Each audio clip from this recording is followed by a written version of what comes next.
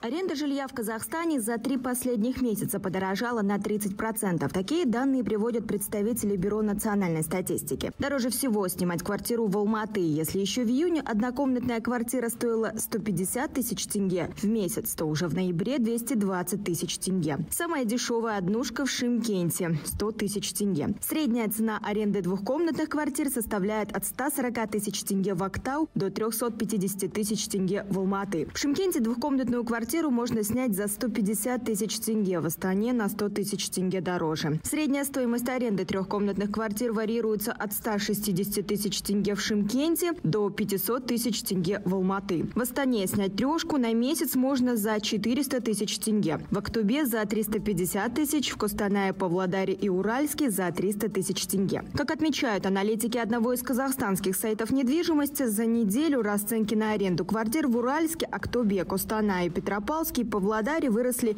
в среднем в полтора раза.